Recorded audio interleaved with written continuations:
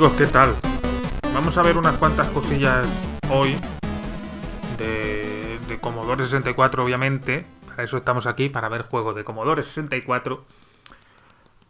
Que nos van a sorprender porque vamos a ver, el Commodore 64 es un ordenador mmm, tan diverso, tan amplio, de verdad, que mmm, podía hacer buenas cosas casi de cualquier género. Sin embargo, hay un género muy común en, en, los juegos arcade, que no es otro que los shoot'em up, pero los shoot'em up sin naves, ¿sabes? Que es que también hay shoot'em up sin naves. Y, la verdad, aquí siempre se habla de lo mismo, tanto en el extranjero como aquí siempre se habla más o menos de lo mismo respecto a este género, cuando hay grandes títulos de, de este género totalmente desconocidos para el público. Y vamos al grano directamente. No me voy a enrollar hoy mm, aquí con una charla que al final siempre os aburre. Vamos al grano, por ejemplo. Mira, vamos a ver este Rubicon. El Rubicon. Un juego ya de entrado los 90. De 20, 21st Century. Una gente que me parece que hicieron el Pinball Fantasy después para, para Amiga. Y otros sistemas. Y que sin embargo, fijaos, hizo este juego 8 de Napa aquí en Commodore que en, sí ya dentro de su género es curioso y es, y es original, porque no es el típico mata-mata pa'lante, sino más bien es una especie de lo que ahora se viene llamando el, el, el boss, boss, rush, que es que estos... Estas, estas, estas fases finales de los juegos en las que te aparecen un montón de monstruos finales seguidos uno detrás de otro, pues este juego, por lo visto, basa su, su esencia en eso, ¿no? En, en este tipo de juegos en este tipo de fases, mejor dicho, han hecho un juego completo de esto. ¿Qué es lo original de esto? Ver super gráficos. Y con super gráficos no solo me refiero a la calidad, sino al tamaño de, de los gráficos en el juego. Eh, como enemigos, o sea, es increíble la cantidad y la variedad de enemigos enormes que te van apareciendo en este juego uno detrás de otro. El juego obviamente es lo típico de ir hacia adelante, ir cogiendo unas, unos trozos de, de, una figura geométrica que tenemos que ir formando, pero lo que llama la atención es eso, es un, el típico juego de tira para adelante, dispara, de ahí lo de shoden up, disparales, parece que esto se olvida también, se, se tiende a olvidar, pero que es eso, todo el rato para adelante, todo el rato disparando, muy vertiginoso, muy rápido, y con gráficos de enemigos muy grandes. Y, ya de por sí eso tan solo ya me llama a mí la atención del juego. Eh,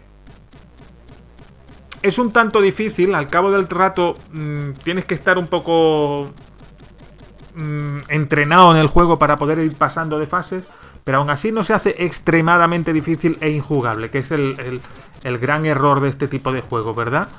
Pues aquí no pasa. Bueno, de este tipo de juego no, de este tipo de, de, de juegos en Commodore, que hay algunos que eran especialmente difíciles e injugables. Por ejemplo, un ejemplo de otro juego que no conoce mucha gente y que peca de esto. Hellhole. Hellhole está muy bien gráficamente, aunque yo diría que el gráfico me suena que está robado de otro juego, pero que no, está bien, ¿vale? Gráficamente está guay. Sin embargo, el juego es extremadamente difícil, muy difícil su avance, mm, incluso masterizando, como se dice ahora, algunas fases el juego se hace prácticamente imposible. Eh, cuando no te matan por tiempo, te matan por contacto. Cuando no te matan por contacto, te matan porque hay ciertos enemigos que los tienes que matar con algunas armas que no tienes en ese momento. Eh, los saltos son muy difíciles, no se te ocurra disparar en el salto porque mueres cayendo al vacío. El juego en un principio te entra muy bien, está muy entretenido, pero después se hace extremadamente difícil, repito. Muy difícil, muy difícil. Eh, otro juego que puede pecar de esto y que a lo mejor mmm, lo salva su originalidad de nuevo. El Another World. No confundir obviamente con la versión Another, con el juego Another World de Amiga 500. Es mm, simplemente comparten el título, pero no tienen nada que ver ni en, diseño, ni en desarrollo, ni en grupo de desarrollo, ni nada. Eric Kaji no tiene nada, no, no, no, tuvo nada que ver en este juego, pero que sin embargo es otro shoot'em up de scroll horizontal con humanoide por, por delimitar el juego de alguna manera, el género de alguna forma, está muy bien. Está muy bien, es difícil, es, digamos, mm, dentro de los niveles de dificultad, eh, tiene un nivel de dificultad bastante alto, pero que es original porque también le mete un poquito de, de, este, de este estilo de juego Metroidvania. Hoy estamos utilizando todos los vocablos, habéis visto que hay que ser, es que hay que ser un poquito... Mmm, útil a la hora de hablar, ¿verdad? Cuando tú estás intentando describir algo es mejor darle una especificación para que la gente sepa de lo que estás hablando. Entonces, este juego tiene un poquito de Metroidvania, que es esto de ir para adelante y para atrás, ¿verdad? Que, también es muy fácil decir ir para adelante y para atrás.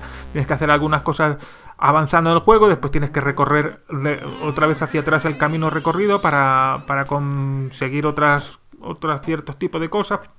En este caso es ir eh, metiéndote en estos teletransportadores que te permiten ir a un sitio o a otro de, la fase y así completarla para seguir hacia la siguiente. El juego, igualmente que pasaba en Hellspawn, ay, Hellspawn, perdón, Hellhole, es vertiginoso, muy rápido, mucha cantidad de enemigos, los respawns son imposibles, los respawns de enemigos, están continuamente saliendo enemigos, pero mira, tiene, tiene ese toque de originalidad de tener que ir avanzando y retrocediendo que hace del juego un título que mira, que junto con los gráficos que no están nada mal, pues que oye, que, está bien, ¿no? A mí me gustó bastante cuando lo jugué, lo que pasa es que es eso, que se hace un poco pesado porque no... No consigues avanzar a no ser que, que estés un rato grande jugando al juego eh, controlándolo bien, mm, tienes que tener un joystick bastante bueno, todos, todos sabemos la, la problemática del salto en el Commodore que le tienes que dar para arriba. Eh, más cositas, más cositas. Por ejemplo, la joya de la corona de estos juegos. Todo el mundo recuerda la saga Turrican.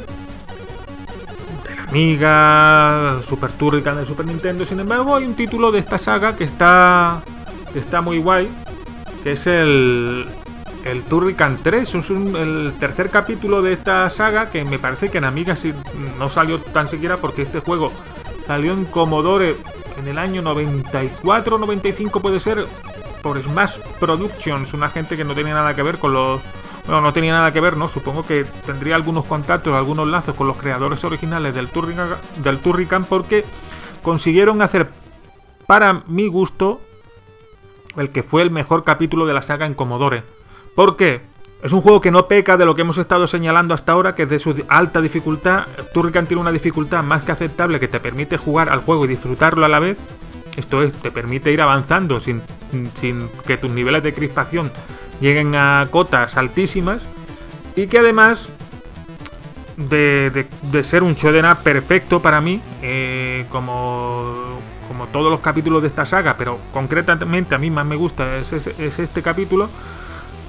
Y que además de esto, de la dificultad aceptable, de la jugabilidad muy alta, de la chulería de los gráficos, que obviamente estáis viéndolo. Mm, estamos hablando de un Commodore 64, de un ordenador de 8 bits, y fijaos lo que está mostrando en la pantalla, ¿no? Que es una maravilla. Pues que es que además rizan el rizo metiéndolo incluso fase de Shoden Apps con nave. Esta vez eh, que eso nada más que, lo que hace es encumbrar aún más el juego y conseguir un título que de verdad está muy, muy, muy, muy bien. Hemos hecho un recorrido muy rapidito por varios títulos de, de, este género de Shoden Up que, ahora se llama Run and Gun. Fijaos qué cantidad de vocablos en inglés. Eh, los Run Gun desconocidos en Commodore y fijaos que en un paseíto que hemos dado hemos conocido cuatro títulos que la verdad a mí me parece que están bastante bien todos. Algunos más difíciles que otros, otros más jugables que otros. Pero que oye, que, que decimos lo de siempre, que aunque os deis un paseíto por, eh, por los títulos de juego de Commodore, encontraréis seguramente cosas que no sabíais que existían y que posiblemente os encandilen y os gusten.